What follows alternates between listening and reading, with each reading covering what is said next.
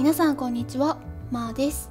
今回は糖質ゼロ麺を使ったヘルシーなパスタともうすぐ七夕ということで七夕ゼリーを作りました。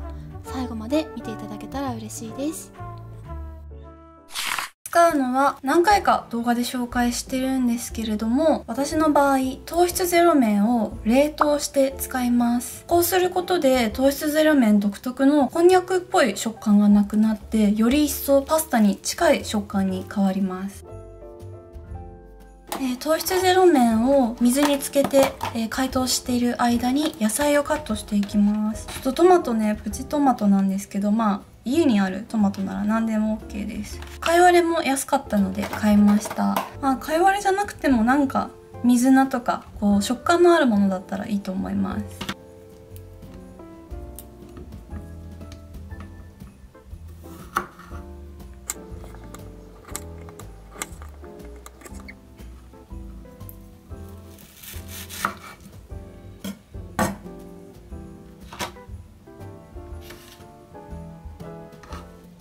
そしたらツナ缶全部入れます。でめんつゆ大さじ2分の1鶏ガラ。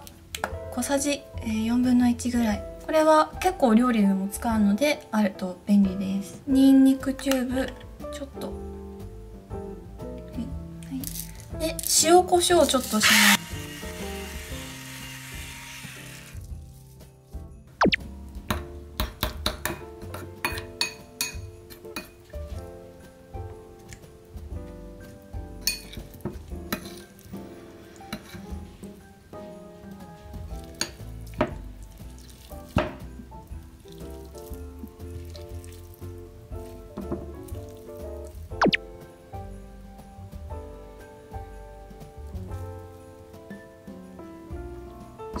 真ん中に高さを出すとおしゃれに盛り付けられるので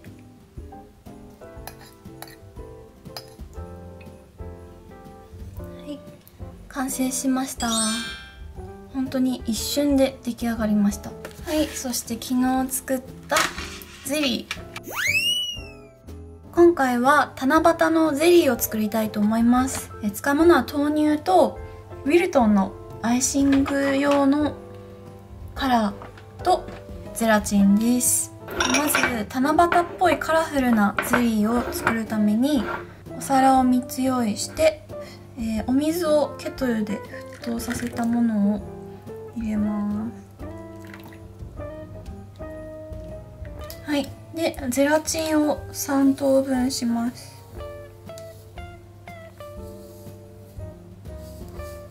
でしっかりと。混ぜます。えー、爪楊枝でピンク色を取ってピンクにしていきます。で次新しい爪楊枝でブルーにします。あんま入れすぎると結構ブルーになってそう。ちょっとこんな感じ。ちょっとだけ入れて。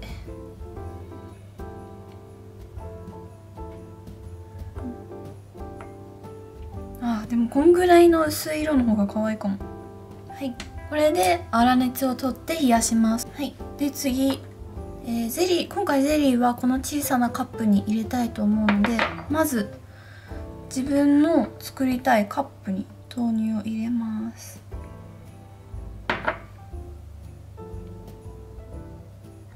この量を使いたいのでここに入れます。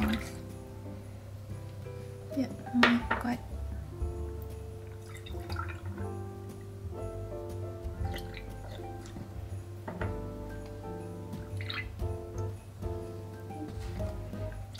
入れますでこちら耐熱ボウルなのでこれを温めて、えー、ゼラチンが、まあ、80度ぐらいで固まるみたいなので、まあ、それぐらいになるまで温めたいと思います、で豆乳を電子レンジで3分温めました。温度を測ります、えー、温度は90度なのでこれで豆乳ゼリーを作っていきます。でここにゼラチンを入れちゃいます。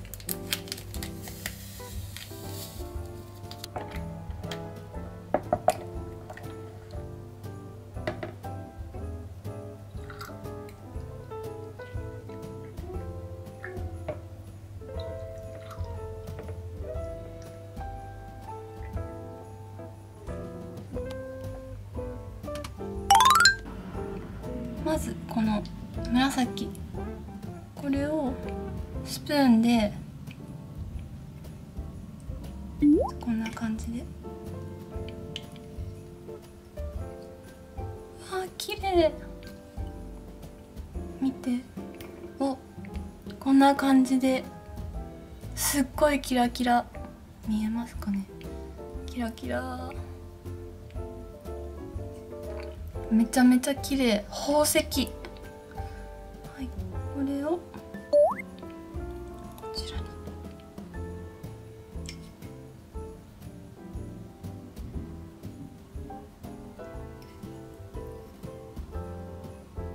に。いや美しい。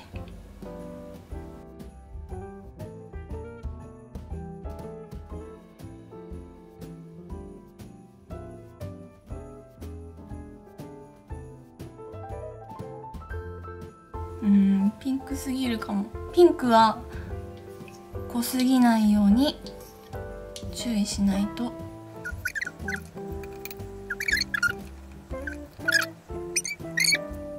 今今こんな感じです。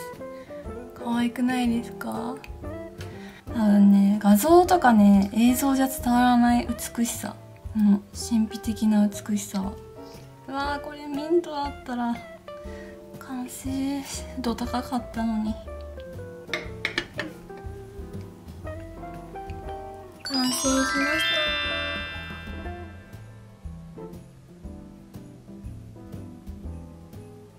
はいこんな感じでちょっと氷を入れて冷やして冷製パスタにしても夏はいいかなと思います。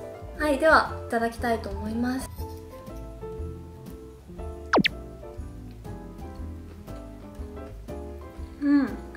美味しい。夏菜がめちゃめちゃ美味しいですね。動画撮る準備とかしてたら水分吸っちゃってちょっとバサバサになっちゃったんでなんかオリーブオイルとかめんつゆちょっと足してもいいかなと思います。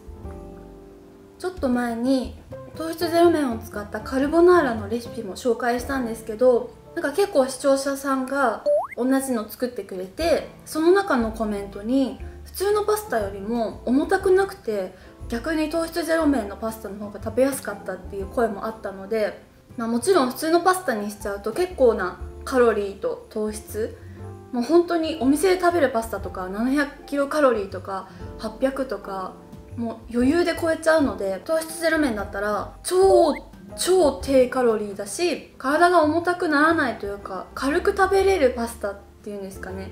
なのでちょっとこってりしたものっていうか重いものがちょっと食べたくないなっていう人は是非糖質ゼロ麺でパスタ作ってみてください。